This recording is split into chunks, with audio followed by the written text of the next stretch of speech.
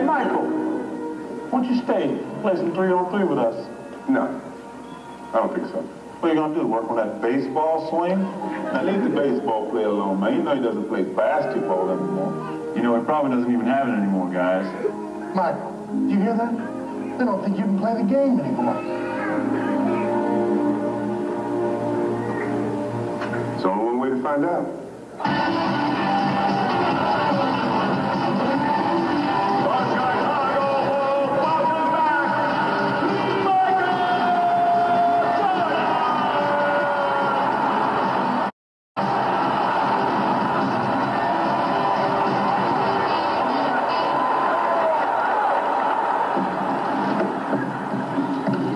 the matter, Bill?